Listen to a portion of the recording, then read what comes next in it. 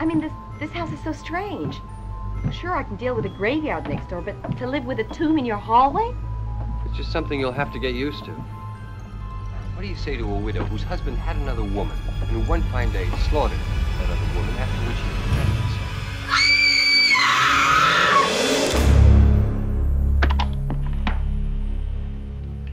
It's been days and days since I stopped work for this.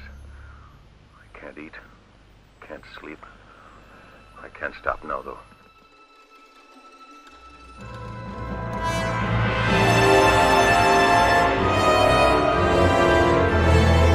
I've lost all critical perspective. The signs, the warnings of this house.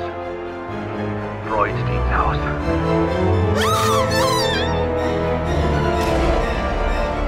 That anguish crying. What can I do to make her believe me?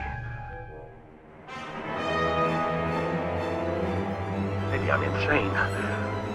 Yes, this is all unreal. Freudstein's house draws me like an infernal magnet. It frightens me.